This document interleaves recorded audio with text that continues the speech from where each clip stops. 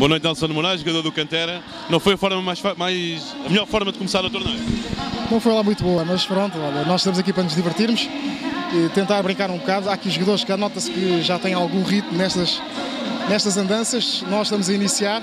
Vamos ver o que é que está a dar. Acha que é bom fazer este tipo de eventos para veteranos? Muito, muito bom, muito interessante. Até porque já não conseguimos combater com, com jogadores de 20 anos. Não é?